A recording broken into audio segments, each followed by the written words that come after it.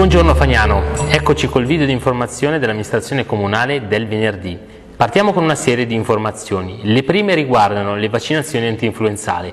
Come lo scorso anno, la vaccinazione anti-influenzale si effettuerà all'interno della palazzina ATS e inizieranno lunedì 24 ottobre. Ricordo che per accedere alla palazzina ATS per le vaccinazioni anti-influenzale è obbligatorio indossare la mascherina.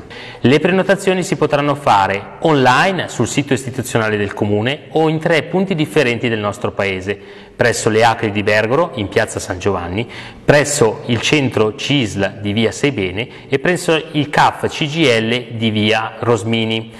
Per qualsiasi informazione e per sapere da quando inizieranno le prenotazioni mi invito a seguire la pagina istituzionale del nostro comune. Settore edilizia privata e urbanistica. Dal 10 di ottobre all'8 di novembre sono pubblicate con il protocollo numero 752 le nuove mappe catastali.